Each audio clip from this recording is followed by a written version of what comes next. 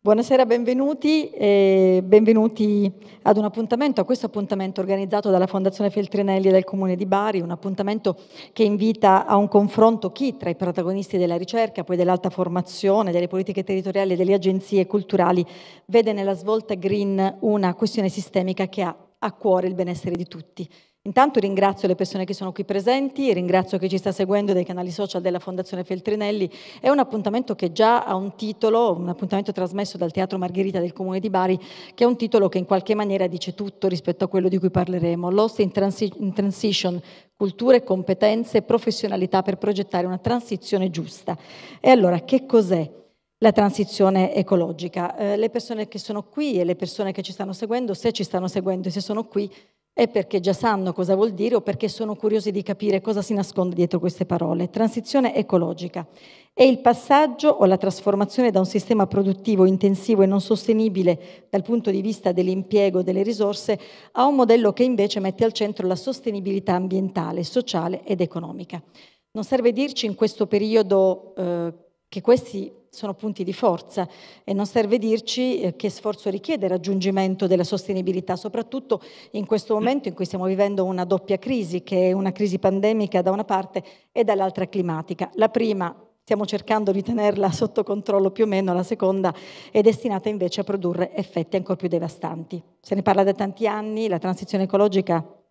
e questa sera ce ne renderemo conto, è possibile ed è conveniente anche economicamente. Mette al centro la persona, ci costringe a ripensare ai nostri modi di vivere, alla nostra quotidianità, però sempre con uno sguardo al futuro, perché affrontare la transizione ecologica e le future sfide della sostenibilità non è soltanto una questione di tecniche e di nuova regolamentazione, Comporta una riflessione più ampia che tocca diversi ambiti disciplinari, l'esplorazione dei campi più innovativi dell'applicazione tecnologica e dei saperi filosofici, impone che in ogni caso si guardi alle esperienze passate che in questi decenni hanno discusso e proposto pratiche alternative di relazione tra umanità e ambiente, connettendo le sensibilità verdi alla cura dei territori, alla salute collettiva, l'equità sociale e il rapporto tra generi e generazione. Insomma, quando parliamo di transizione ecologica parliamo di noi. E l'agenda della transizione ecologica è fatta di priorità che vanno dall'economia circolare alla riorganizzazione degli spazi urbani e dei servizi ecosistemici, dall'ideazione di nuovi modelli di lavoro alla produzione e consumo, dall'integrazione di strumenti di progettazione partecipata sino all'innovazione sociale, alla comunicazione e alla sensibilizzazione. Sono chiamate in causa naturalmente eh, le istituzioni, i diversi livelli di governo, in particolare per gli importanti investimenti previsti dai piani europei e nazionali. Accenneremo dopo, eh, quando parleremo con eh, i responsabili delle università, al PNRR. Sono priorità che pretendono, e io questa parola la voglio usare, pretendono competenze e professionalità. Non abbiamo più tempo, non abbiamo più tempo da perdere, non abbiamo più soldi da sprecare e quindi dobbiamo necessariamente correre ai ripari. Il um, libro da cui parleremo per questa conversazione, poi vi presenterò man mano gli ospiti che arricchiranno questa serata, si intitola Profezie Verdi, le origini del pensiero e dell'azione ecologista a cura di Gianfranco Bettin. Eh, Gianfranco Bettin dovrebbe essere con noi in collegamento, chiedo una, una insomma, una conferma alla regia. Intanto ve lo presento, Gianfranco Bettin Veneto, è nato a Porto Marghera, saggista, narratore. Eccolo qua. Buonasera. Ha insegnato e lavorato a lungo nel campo degli studi e della ricerca socio-economica e politica, è attivista ecologista tra i fondatori dei Verdi Italiani alla fine degli anni 70, deputato al Parlamento e prosindaco di Venezia dove è consigliere comunale per la lista verde progressista. Buonasera, benvenuto. Noi cominciamo proprio dal libro Da Profezie Verdi che lei ha curato per raccontare quello che accadrà tra qualche minuto e quello di cui parleremo. Devo dire la verità, ma quando ho letto Profezie Verdi io mi sono molto arrabbiata. Mi sono molto arrabbiata con una generazione che non ha saputo tener fede ai propri principi, che non ha saputo portare avanti delle battaglie che erano sostanziali ed erano essenziali e ha lasciato soprattutto in Italia che la politica se ne occupasse, quando invece la transizione ecologica, come dicevo prima, pretende delle competenze, deve partire dai cittadini. Allora, Eh, lo dico subito, poi ne parleremo e ne riparleremo col direttore della Fondazione Feltrinelli. Questo volume, questa antologia, parte da materiali raccolti dalla Fondazione Feltrinelli. Allora, iniziamo a parlare della scelta dei materiali, perché in questa antologia lei ha raccolto le voci più importanti quelle hanno, tra, tra quelle che hanno raccontato la linea verde in questo paese. Sì, il materiale disponibile presso la Fondazione Feltrinelli è ricchissimo. E tra questo c'è anche molto materiale relativo alle origini del pensiero ecologista, cioè a quel passaggio in cui l'ecologia come disciplina scientifica innervava l'ecologismo come, chiamiamolo, sentimento politico, come modo di guardare alle cose, come orientamento culturale e la, con, il contributo che questo incrocio dava cominciava a fiorire anche nell'ambito dei movimenti, delle forze politiche più tradizionalmente osservate, i cui materiali più tradizionalmente venivano raccolti dalla Fondazione Feltrinelli in quegli anni. Parliamo degli anni, seconda metà degli anni 70 e i primi anni 80. E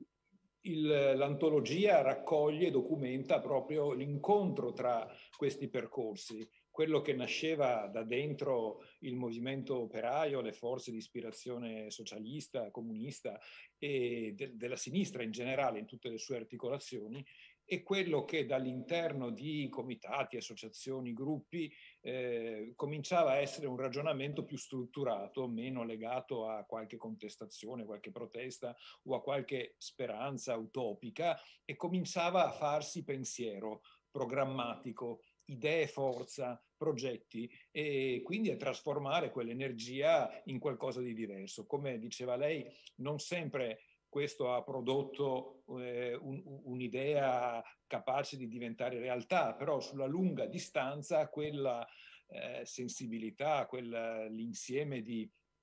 istanze, di visioni, di spunti che si nutrivano anche da, da, dalla scienza in primo luogo, eh, la grande madre che in questo eh, in questa antologia viene omaggiata dell'ecologismo politico è Rachel Carson, una biologa una grande scienziata che ha segnato profondamente eh, gli anni 60 eh, in cui è anche poi mancata prematuramente, ma questa sua scomparsa prematura mh,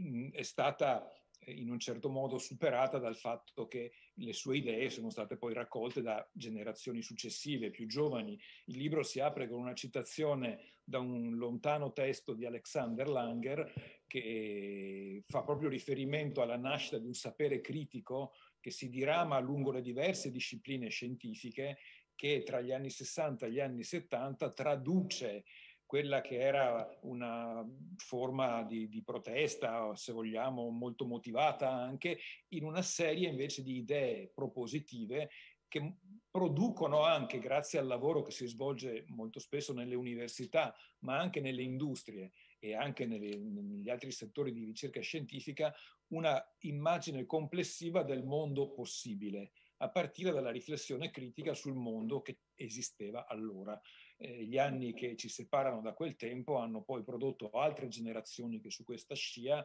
hanno trasformato quella che era l'alba di un pensiero eh, e di una pratica politica nuove in movimenti molto, molto più estesi, che in qualche paese hanno avuto più fortuna, in altri, come anche nella nostra Italia, meno, ma che per esempio anche nella stessa Italia, nelle città, hanno spesso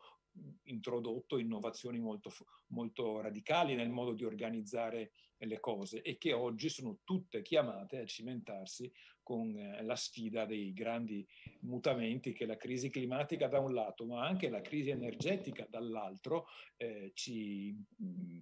ci, sottopongono e, e dentro i quali la transizione ecologica tenta di tenere insieme tutti questi aspetti ragionarci anche in modo professionale, in modo sistematico, in modo strutturato, come il master di cui oggi si presenta l'avvio, eh, eh, che si,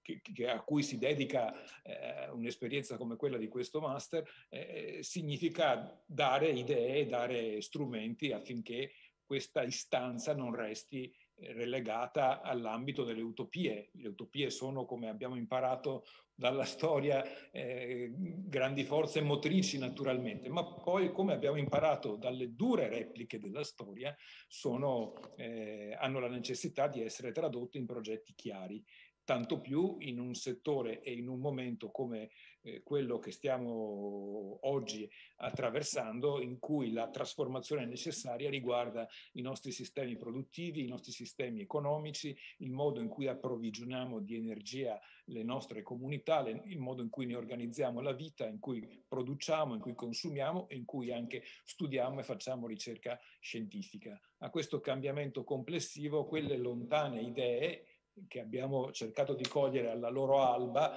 hanno dato un contributo significativo in questi decenni e il libro cerca di darne eh, testimonianza e siamo molto contenti e anche onorati che possa contribuire alla discussione che oggi si tiene qui a Bari augurandoci che contribuisca alle discussioni anche nei luoghi di studio e di formazione, scritti dal 62 al 76, sembrano scritti oggi. Ci sono dei riferimenti a quello che noi viviamo oggi, ad esempio, ma ne faccio soltanto uno perché abbiamo insomma, i, i minuti contati, però mi piaceva eh, ricordare eh, il, il,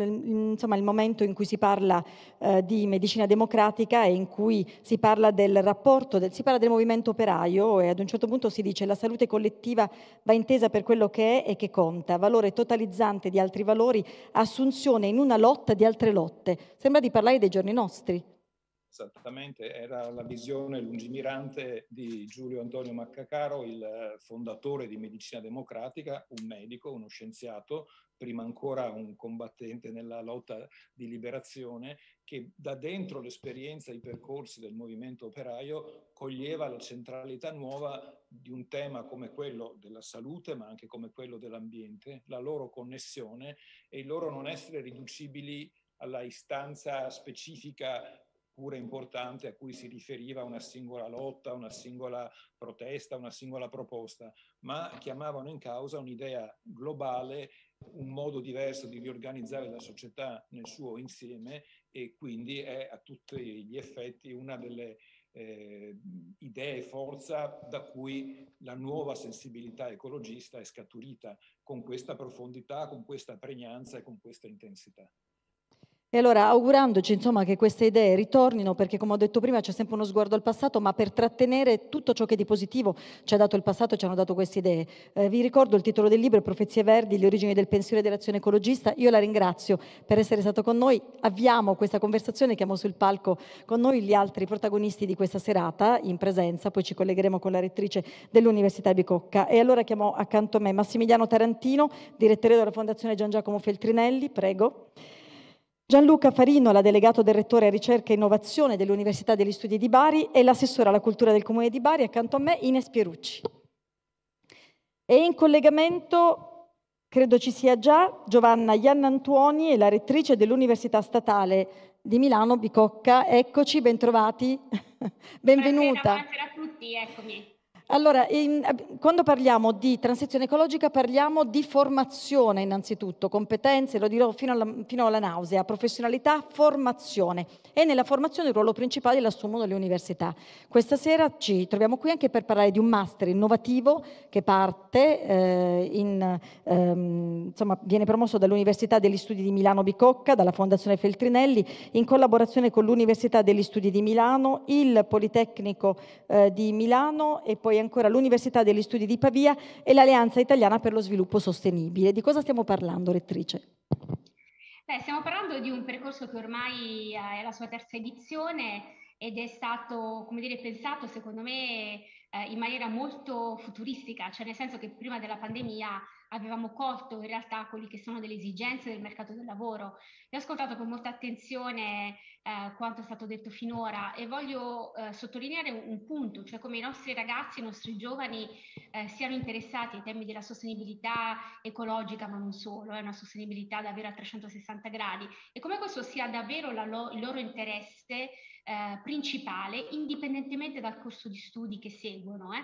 Eh. Ehm, e contemporaneamente noi accanto a degli ideali del tutto condivisibili dobbiamo però mettere a terra dei percorsi formativi che diano poi eh, spazio anche a delle carriere lavorative innovative. Infatti l'innovazione deve sempre accompagnare i nostri discorsi come il pragmatismo. E proprio il Sustainable Jobs, se anche vediamo un po' le proiezioni eh, da, in tutto il mondo, sono nel mondo occidentale uno dei lavori, eh, come dire, del futuro, no? che non esistevano fino a qualche anno fa. E secondo me questo master ha colto questa esigenza proprio perché è molto vicino alle imprese, quindi eh, è fatto insieme alle imprese, quindi al di là del classico bilancio no, di sostenibilità che ora è un requisito che tutti il mondo privato deve, deve sostenere, ma accanto a questo invece c'è un progetto più serio, più sensato, che quello di dire bene, ma allora quali sono nuovi paradigmi, nuovi livelli, nuove modalità di consumo? Quindi come cambiare sia il lato dell'offerta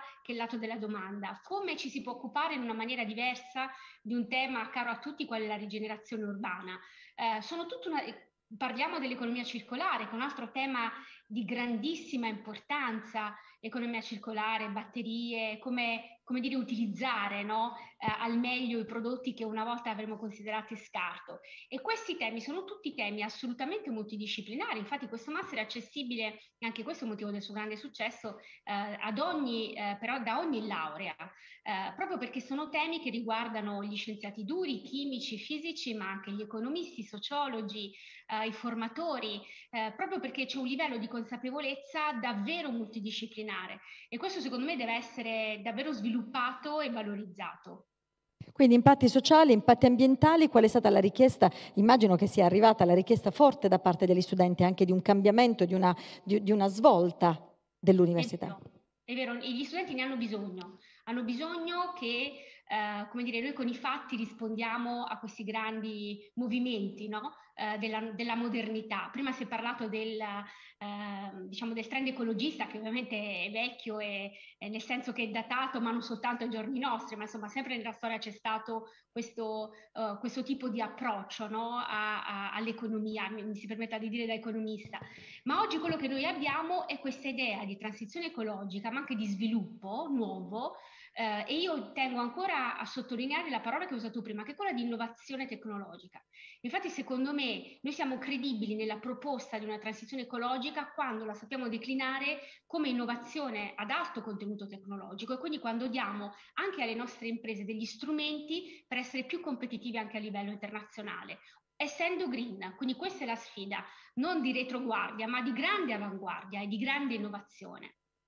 e noi staremo a vedere cosa succederà grazie alla rettrice dell'Università Bicocca di Milano. Grazie infinite, buon lavoro. E intanto io sposto la conversazione in presenza perché abbiamo avuto due grandissimi collegamenti eh, appunto con Gianfranco Bettin e con la rettrice Giovanna Iannantuoni, partendo e parto dal direttore della Fondazione Feltrinelli. Eh, dicevo prima che questo incontro è organizzato dalla Fondazione Feltrinelli in collaborazione con il Comune di Bari, Massimiliano Tarantino.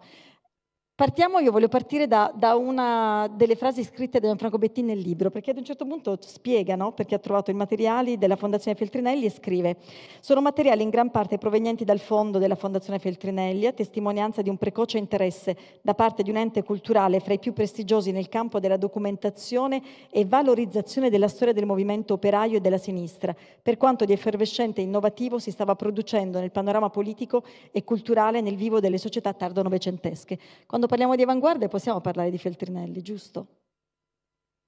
Infatti non mi hanno aperto il microfono. Ah sì, adesso è aperto. Una domanda così difficile che forse il microfono non era aperto per consentirmi di non rispondere. No, eh, invece rispondo. Sicuramente ehm, il concetto di avanguardia fa rima con Feltrinelli, sia per quanto concerne le attività della fondazione che per quanto concerne l'attività del polo editoriale e delle librerie. Ricordo uno dei primi giorni nei quali io ho affiancato eh, Carlo Feltrinelli come direttore della fondazione e, e mi, mi, mi, venne raccontato che cosa era eh, il lavoro che Gian Giacomo Feltrinelli in persona faceva quando girava le copertine dei libri dalla costa alla copertina proprio per eh, renderli un oggetto di seduzione. Quando Gian Giacomo Feltrinelli inseriva i flipper dentro le librerie perché quelle librerie non fossero solo dei luoghi eh, di acquisto e di commercio ma dei luoghi di socialità e di intrattenimento ma per venire invece alla ricerca quanta eh, radicalità c'è stata nel corso dei decenni da parte di tutti i presidenti della Fondazione Feltrinelli a conservare eh, delle fonti che diversamente sarebbero andate disperse e che ricostruiscono le trasformazioni eh, sociali dal 400 ad oggi. Eh, per chi volesse visitare gli archivi della Fondazione sono 12 km lineari di archivi, 12 km lineari di archivi, nei quali un milione e mezzo di carte d'archivio e 270.000 volumi consentono a tutti noi di riconoscere che alle nostre spalle e sulle nostre spalle ci sono le lotte di tutti coloro che hanno fatto la storia non solo pensandola e teorizzandola, ma agendola e quindi eh, sta, stando eh, sulle piazze, stando nelle fabbriche, eh, stando accanto ai padroni e a volte stando contro i padroni. Cioè c'è nel Novecento eh, quel concetto di lotta di classe che eh, noi abbiamo ereditato e che dobbiamo sicuramente ricordare per lasciarlo alle spalle come una matrice di riferimento da cui evolvere un concetto di coesistenza, di coabitazione e di innovazione nella dimensione di comunità.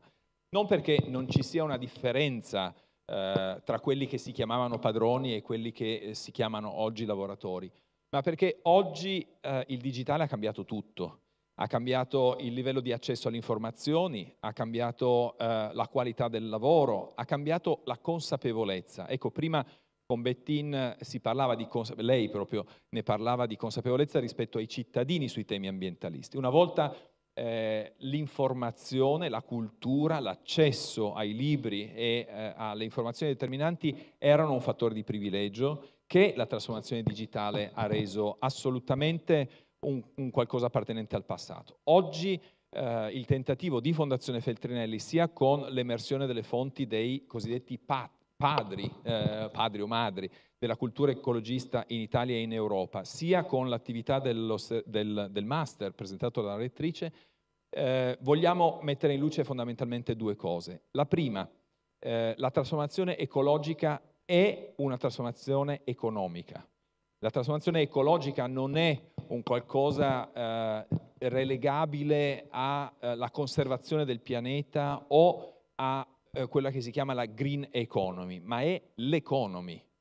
Quindi oggi eh, quello che noi ci stiamo proponendo, stiamo proponendo e lo facciamo con tutte le imprese che lavorano con noi, un'operazione che va ad attualizzare il concetto di ecologismo non solo in chiave culturale e politica, ma in chiave economica, perché pensiamo che questo sia il driver per arrivare direttamente alle eh, sensibilità più intime della cittadinanza. Poi naturalmente da operatore culturale sappiamo e sappiamo benissimo che è, è la cultura della sostenibilità che va alimentata, è la cultura della conservazione del pensiero ecologista e da questo nasce Profezie Verdi ed è la cultura anche di quello che, ce lo insegna Alessandro Baricco, è lo storytelling e quindi la narrativa. Quindi arrivo al punto politico, perché eh, sono tre punti per noi eh, assolutamente inscindibili, cioè l'economia e il lavoro, eh, la formazione e la cultura è la politica, cioè la preservazione e la tutela dell'interesse pubblico. Allora, quanto è importante oggi su queste tematiche fare formazione anche della classe dirigente dell'amministrazione pubblica e quanto è importante per noi affiancare il PNRR e tutta l'attività che questo governo e tutte le amministrazioni comunali, in primis eh, quella di Bari con il suo sindaco, nonché presidente dell'ANCI, eh, si stanno battendo non solo per formulare una politica innovativa su questi temi, ma perché cresca una cultura della, eh, del nuovo ecologismo. Noi abbiamo eh, fatto un percorso nel corso del 2021 insieme ai Grünen tedeschi, al partito eh, verde tedesco. In Germania c'è una cultura che, eh, vabbè, nelle elezioni precedenti arrivava al 20%, in queste ultime elezioni è intorno al 15%, però comunque non è residuale nello scenario politico. Ecco, quanto sarebbe importante che nel nostro paese crescesse una cultura di governo eh, di stampo ecologista che non rimarcasse eh, esclusivamente eh, la cultura ecologista in ambito né solo culturale, né solo economico, né solo politico, ma ne avesse un atteggiamento multidimensionale. Ecco, per fare questo Fondazione Feltrinelli stringe delle alleanze con il territorio, continua a conservare le fonti e le integra con quelle che è l'esperienza di oggi della politica praticata dell'ecologismo, perché eh, è stato un, un, evento molto partecipato a Milano di qualche anno fa, ricorreva eh, l'anniversario del 2001 eh, dei eh, fatti del G8. c'era un comune sentire nel nostro paese che andava nel cuore del, della sinistra e dei movimenti e che quella fase ha eh, interrotto e delegato alla politica. Ebbene, la politica in questi anni ha dimostrato di saperla interpretare fino a un certo punto e probabilmente questo governo è il momento, che è un governo politico ma apolitico, è il momento in vista delle prossime elezioni proprio perché tutto il contesto politico, indipendentemente se di destra o di sinistra, si avvicini alla cultura ecologista e sappia, la sappia interpretare in un modo multidimensionale. Questo è l'intento anche uno degli intenti dell'attività della nostra fondazione. Grazie direttore, tra l'altro so che dopo lei vorrà eh, porre anche insomma, delle domande al delegato del rettore dell'Università di Bari e alla nostra assessora.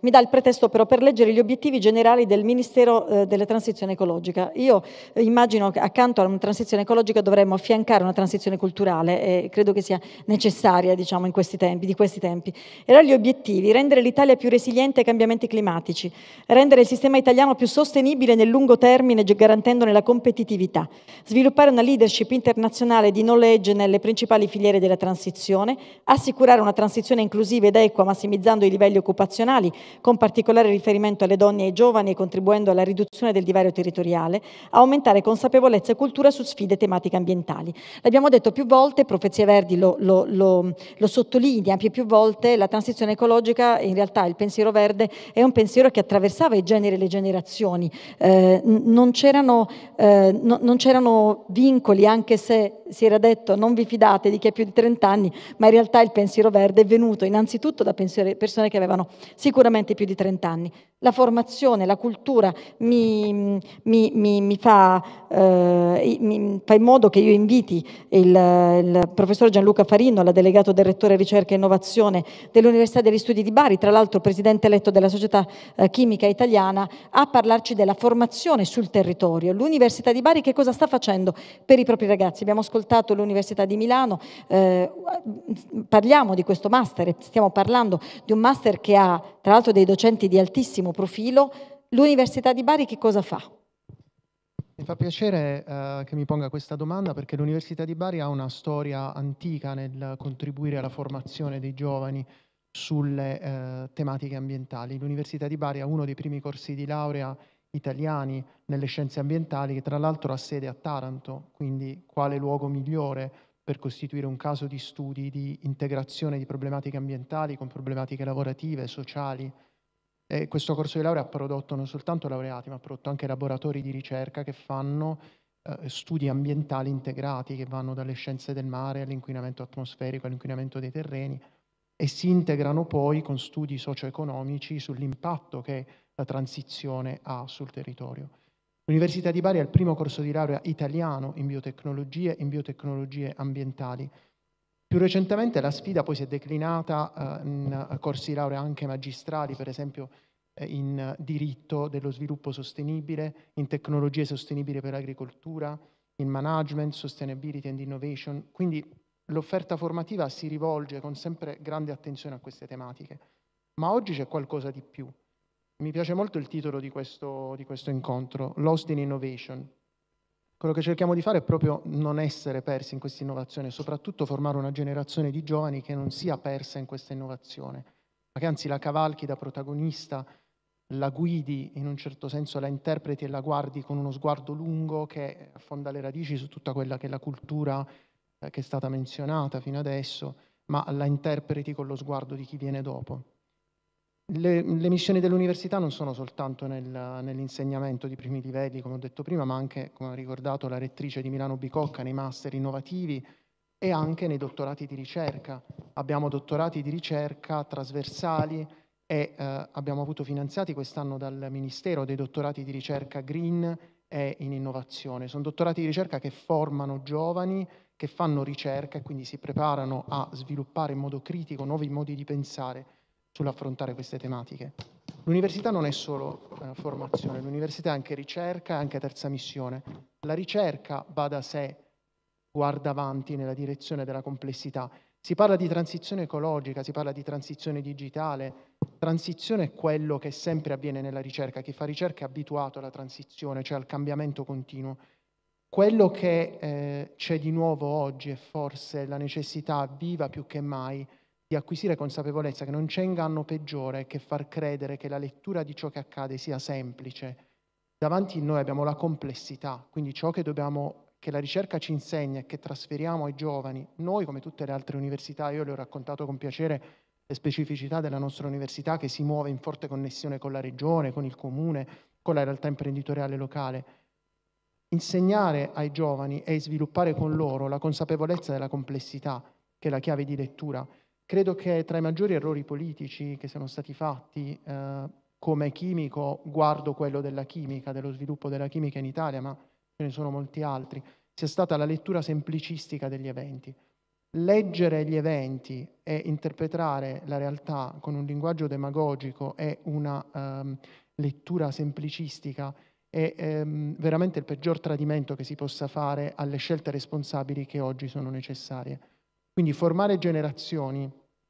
di persone consapevoli, insegnargli a, a saper leggere in maniera trasversale, ma soprattutto a comunicare, significa diciamo, innervare nella società civile una consapevolezza della complessità che è quella che è alla base delle scelte politiche che devono essere fatte.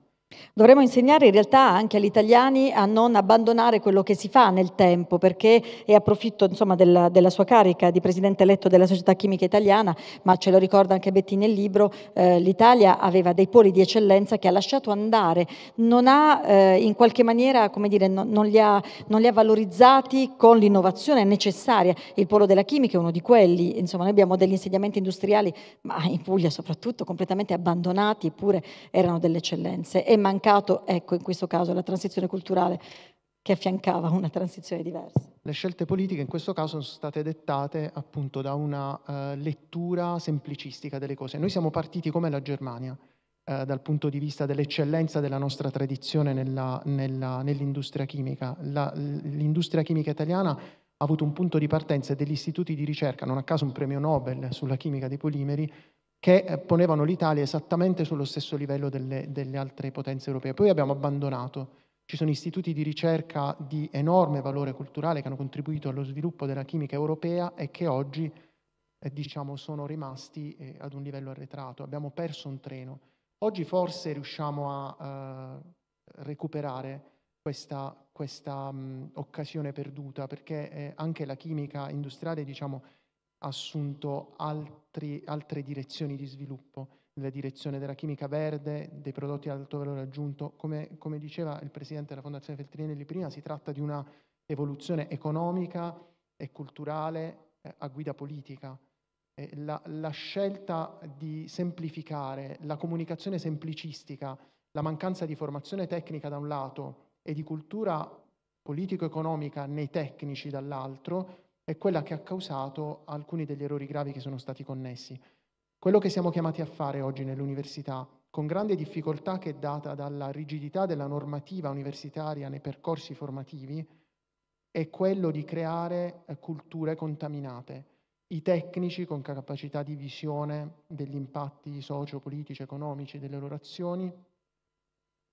gli economisti, i giuristi, eh, con eh, consapevolezza delle problematiche tecniche. La legislazione italiana pone dei vincoli molto difficili da superare nei percorsi formativi e le università si ingegnano a superarli e riescono in una certa misura a farlo, da cui il master della rettrice di Milano Bicocca, i nostri corsi di laurea che ho menzionato prima, rivolti alla formazione di figure che abbiano quella capacità di lettura della complessità che rifugge alla classificazione schematica e, e appartiene a un sapere del secolo scorso che non ci possiamo più permettere. Grazie, tra l'altro figure che devono essere anche in grado di scrivere i progetti per sfruttare le opportunità. E allora eh, era di, insomma, di, qualche settimana fa l'intervista del collega Giuliano Foschini al sindaco De Caro eh, in cui il sindaco diceva abbiamo bisogno di persone per scrivere i progetti perché altrimenti non ce la facciamo. Abbiamo qui l'assessore alla cultura Ines Pierucci, abbiamo eh, parlato anche in questo caso non, della necessità di non semplificare quello che accade, di mostrare agli altri la complessità. E allora come si mostra agli altri la complessità? Anche organizzando degli appuntamenti culturali come questi che possono sembrare diciamo, particolarmente selettivi, ma in realtà non lo sono perché sono rivolti a tutti. Sì, intanto grazie e benvenute e benvenuti nel Teatro Margherita, un posto che abbiamo eh, restituito alla città da poco e chiedo scusa per il freddo che in streaming non sentono, ma noi di persona sì chiedo scusa agli ospiti, ma è un posto straordinario che, stiamo, eh, che abbiamo restituito alla città, ma con i lavori del secondo lotto ancora in corso che prevedono appunto quella parte finale legata altresì alla climatizzazione, che faremo in modo, nonostante l'argomento sul risparmio energetico, non ci distrarremo prossimamente dal riscaldare per ospitarvi al meglio. Io per questo motivo ringrazio in questo momento chi eh, ha in concessione questo luogo, che è eh, un organizzatore di eventi e di mostre, nella persona di Vito Cramarossa, che in questo momento sul tema dell'ecologia e della cultura verde, al centro di questo bellissimo libro che ho avuto il piacere di, di leggere, ehm, ha eh, organizzato una mostra che si chiama appunto Planetor Plastic, con il punto interrogativo, organizzata da, e promossa da National Geographic per la prima volta qui eh, al sud e non a caso organizzata da un'operazione operatore culturale che ha investito da sempre sul territorio, a partire dalla, da WordPress Photo, con un filone che guardasse alle evoluzioni e ai cambiamenti climatici ormai catastrofici dai quali non dobbiamo distrarci e che cerchiamo di trasmettere con la conoscenza attraverso forme espressive come quella artistica fotografica per far sì che appunto non ci si distragga da quella complessità che eh, citava giustamente il professore e eh, alla quale insomma siamo tutti cari dopo averne sentito parlare anche molto bene dal premio Nobel eh, Parisi che la, diceva anche lui che dalla complessità sarebbe peraltro molto eh, pericoloso distrarsi. Sulla cultura verde, devo dire che leggendo questo libro, soprattutto a partire dalla professione di Alex Langer, ho ricordato le parole di Alessandro Leogrande, che sull'ambiente della nostra Taranto aveva un'idea precisa, molto simile a quella di Langer, ma soprattutto molto vicina a quella eh, di molti di noi che si sono occupati non soltanto politicamente, ma in qualità di cittadine e cittadini del nostro territorio, eh, esattamente come eh, nel libro si diceva quando di un territorio si deve aver cura a partire da eh, una consapevolezza di cui avete parlato anche molto bene eh, voi, eh, quella consapevolezza che serve a tutelare il proprio eh, patrimonio come se fosse la propria dimora. Heimat viene citata anche la terra, il proprio territorio, la propria, eh, la propria origine bis- di cui bisogna prendersi cura. E il grande fraintendimento che ho trovato sin dalla, da quando eravamo più piccoli, ci interessavamo a questi eh, temi, del grande fra- fraintendimento che tutte le politiche verdi hanno provato ad accostare spesso la sinistra e quasi a subirne quella, quella costola, con un grande eh, fraintendimento, anche ad essere concorrenti a quella stessa sinistra che ha promesso un progressismo evidentemente ehm, della, del, del, quale ci siamo tutti eh, illusi, o di quella illusione anche conservatorista della destra che in realtà anche quella non è poi così eh, conservativa come, come, appare. Allora al centro si trovano le politiche verdi, ma in realtà dovrebbero essere l'alternativa come avviene in tutta Europa. Ecco, in tutta Europa la cultura verde è un modo di vivere, qui viene frainteso, si pensa che sia un tema ideologico e persino ehm, illusionista, utopistico, distopico e questo però lo ritroviamo altresì nell'assenza, devo dire, di una responsabilità culturale molto importante che questo libro scongiura e comunque contraddice questa, questa tesi dell'assenza della letteratura e di temi ecologisti nella nostra letteratura. Eh, sin dal 1922 in Prato Fiction si parla dell'assenza di questa letteratura e non leggiamo mai eh, letteratura italiana se non tradotta eh, mi correggerà Tarantino, sui temi ecologisti dei quali gli scrittori si prendono responsabilità anche in fiction legata alla letteratura ecologista. E quindi io credo che anche questa sia la responsabilità, non è soltanto sempre la responsabilità della cura dei cittadini e delle cittadine che vengono persino sensibilizzati costantemente dalle attività che un'amministrazione pubblica può ehm, eh, offrire attraverso una mostra piuttosto che una qualunque occasione di un cartellone culturale, piuttosto una responsabilità anche culturale degli scrittori, degli artisti, dei fotografi e eh, della unica risposta che in questo momento all'incertezza e alla paura che viviamo vedo che è solo è una, una sola ed è appunto la cultura. So che Gianfranco Bettina è rimasto in collegamento per seguire la seconda parte della serata. Eccolo qua. Allora, abbiamo sentito ora parlare l'assessora Pierucci di responsabilità culturale. Lei è d'accordo? Sì, ha perfettamente ragione, è una forza da non sottovalutare, anzi una forza cruciale, quella della trasformazione culturale nell'ambito della transizione ecologica. Non c'è transizione ecologica senza un cambiamento dei parametri e anche delle modalità culturali, senza cambiamento del nostro modo di riflettere sul passato per come si è sviluppato finora e anche senza la capacità di eh, immaginare alternative all'attuale stato delle cose, alternative diciamo così globali, se vogliamo perfino suggestive, no? utopistiche, come si potrebbe dire, ma alternative specifiche, multidisciplinari, come prima si, si diceva. Un grande pugliese Carmelo Bene diceva che abbiamo bisogno di indisciplina, cioè capacità di ribellarsi allo stato delle cose, e interdisciplinarietà, cioè capacità di connettere saperi specifici articolati su ambiti diversi. E un grande intellettuale pugliese ancora più giovane, di un'altra generazione, come che ha ricordato prima l'assessora, Alessandro Leogarande, tra l'altro un autore Feltrinelli, per me anche un carissimo amico, eh, ha lavorato proprio su questa intersezione tra la trasformazione sociale, la trasformazione politica la trasformazione culturale. Quindi è una forza straordinaria quella capace di intrecciare questi ambiti e di metterli a servizio della trasformazione necessaria, che senza questi riferimenti rischierebbe di essere forse un po' cieca oppure volonterosa eh, soggettivamente magari molto agita, molto animata, ma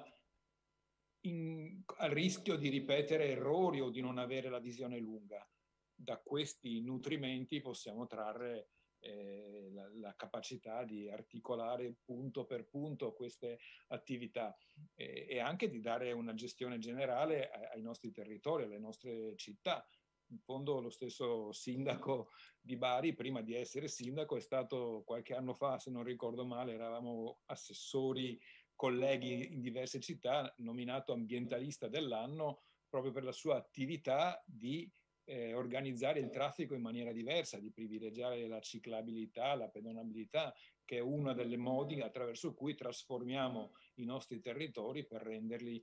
sostenibili senza che la sostenibilità sia una generica eh, necessità, ma un modo di organizzare le cose. E quell'intreccio che prima si evocava tra economia ed ecologia, quella capacità anche di ripensare modalità del nostro sviluppo industriale, come diceva prima il delegato del rettore, evocando la vicenda chimica e potete immaginare che parlando da Porto Marghera di questo aspetto della politica industriale italiana abbia qualche esperienza proprio sul punto in cui eh, un'eccellenza italiana che ha prodotto anche, come ricordava prima il professore, la conquista del premio Nobel per la chimica al professor Natta per i suoi studi sulle applicazioni della plastica, sulle applicazioni che eh, nella nostra vita quotidiana l'industria chimica poteva produrre, no? eh, si, è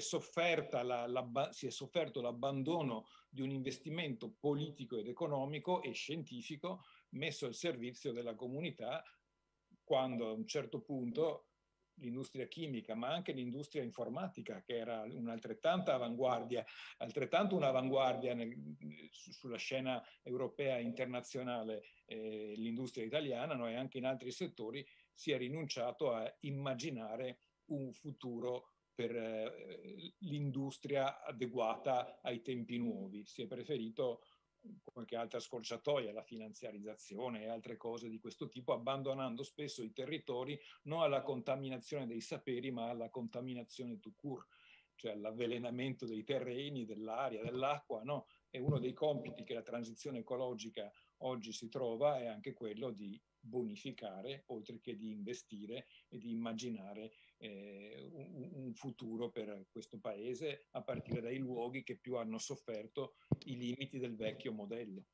E la formazione questo fa perché ci fa fare i conti con la storia, noi questo dobbiamo fare, dobbiamo imparare a farlo, gli italiani in realtà non lo fanno mai. Alessandro Leogrande, grandissimo eh, narratore di quello che era il nostro territorio, ma in generale del, del territorio italiano e, e, ed era una delle pochissime persone che sapeva spiegare perfettamente quello che era rimasto, l'eredità che c'era rimasta di quei tempi e quindi della nascita del pensiero verde, cioè la connessione tra l'agire politico e la conoscenza. Questo è quello che ci è rimasto. Direttore Tarantino, so che lei eh, voleva ehm,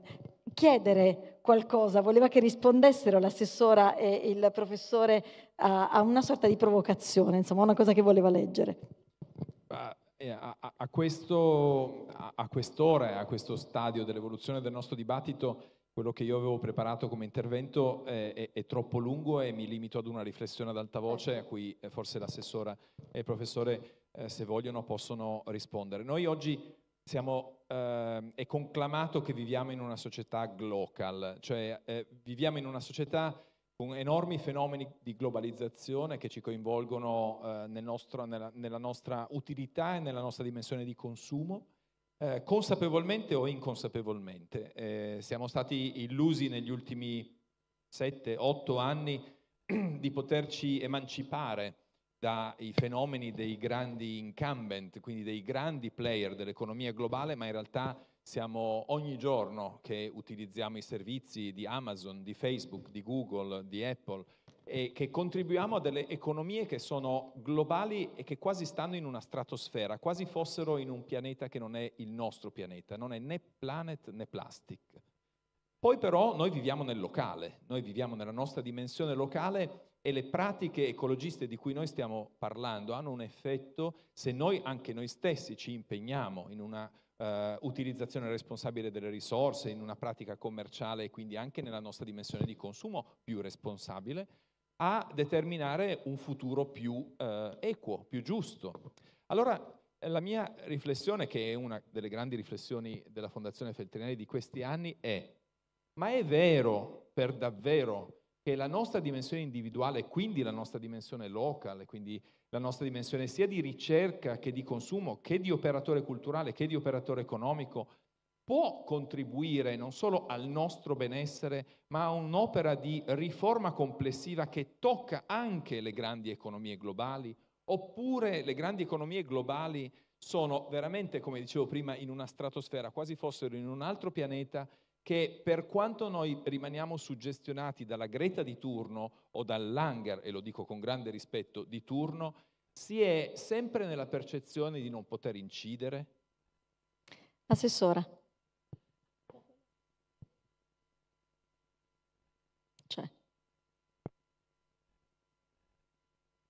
allora facciamo rispondere. Assessora, per... ecco, eccoci. È un po' quello che dicevo prima, un po' di quello che abbiamo sempre avuto la percezione della cultura verde, che fosse appunto qualcosa che non ci riguardasse da vicino, che riguardasse un po' il futuro, quell'aspetto distopico che trovavamo per esempio eh, in un determinato eh, tipo di letteratura distopica, che sembrava quasi la fantascienza, ma in realtà presagiva il futuro, esattamente questo, questo libro, come questo libro racconta, no?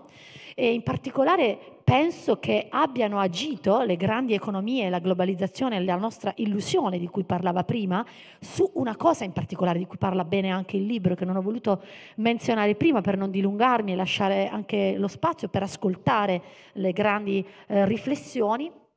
sul tempo Ecco, l'ecologia e la cultura verde, la cultura ecologica, la politicamente più preziosa, che non ha valore se ci pensiamo, è proprio quella del tempo, di cui parlavamo ancora una volta con Alessandro Leogrande, che in questo momento immagino chissà dove a parlare con un altro intellettuale del nostro territorio, che è Franco Cassano, che è del pensiero meridiano e di quella lentezza preziosa che è stata fraintesa, quasi come leggerezza calviniana, ma invece di grande approfondimento e di grande riflessione complessa, come diceva prima il professore, ora non possiamo farne a meno e sicuramente è qualcosa quale, eh, alla quale dobbiamo stare molto molto attenti e che eh, non, non, ha prezzo, che non ha assolutamente eh, paragoni rispetto a quello che apparentemente sembra restituirci la globalizzazione col tempo veloce, ma soprattutto con la superficialità che poi non lascia niente alle future generazioni. E su questo chiudo, in questi giorni, quando abbiamo scelto di aprire nuovamente l'anno 2022 con una stagione di prosa che raccontasse volontariamente alle nuove generazioni, a quelle che verranno, di memoria di Shoah, con un chimico come Primo Levi che evidentemente ha ancora qualcosa da dire attraverso nuovi linguaggi affinché la memoria sia plastica, continueremo a eh, porgere fiori su quelle lapidi finché ci saranno nuovi linguaggi che raccontano e restituiscano questa memoria. E lo possiamo fare soltanto riflettendo sui temi più profondi con il giusto tempo adeguato. E su questo la formazione, un master così importante hanno questa responsabilità, affinché non ci si informi attraverso il web, scusate la banalità di quello che sto dicendo, ma che ci si avvicini sempre di più al grande potere della parola scritta che non puoi fermare fino a quando non fermi la mano di chi la scrive, avrebbe detto qualcun altro. Mi taccio. Professor Farinola. Io credo che questa sia la vera transizione davanti alla quale ci troviamo, che è come dire, una metatransizione, va sopra quella ecologica, sopra quella digitale, cioè questo, questo iato tra la velocità immensa con cui oggi i, la trasmissione delle informazioni eh, ci, ci, sovrasta e, e, scavalca la nostra capacità di contenimento e di elaborazione e nello stesso tempo la necessità di assorbire la complessità che per come funziona il nostro cervello richiede tempo per essere elaborata. Io credo che lo spazio di questa, di questa uh, per colmare questo iato, per mettere un ponte tra questa immensa velocità, questo immenso flusso incontrollato di informazioni e la complessità che richiede elaborazione e, e, e, e metabolizzazione siano proprio luoghi di formazione e di cultura.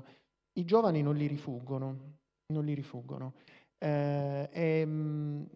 la sfida di chi non è più giovanissimo e sta nei posti dove eh, si deve fare formazione, cultura,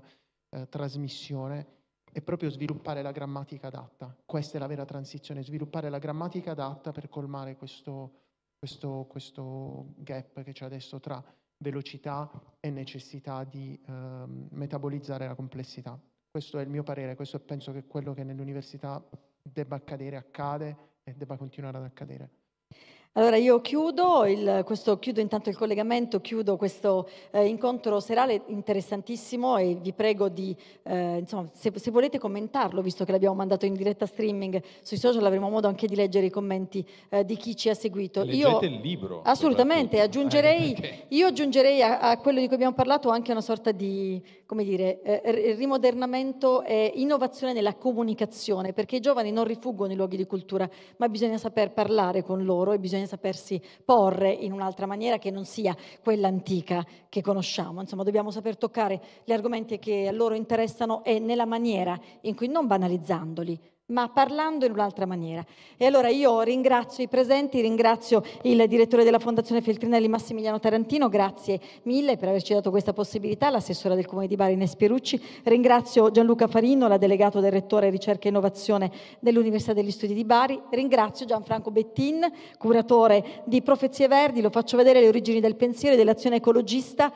vi arrabbierete come mi sono arrabbiata io, se siete della mia generazione. Vi incuriosirete se siete di una generazione più piccola e magari porterete avanti le idee di, di, di chi aveva delle idee e che poi, come ho detto all'inizio, non ha avuto la forza di portare avanti perché viviamo in un paese in cui quando arriva la politica travolge e stravolge anche dei concetti eh, primari come quelli che, venivano, eh, che facevano parte delle profezie verdi. Quindi grazie a tutti eh, per averci seguito e arrivederci ad un nuovo appuntamento con la Fondazione Feltrinelli. Grazie, grazie ancora. Grazie. grazie.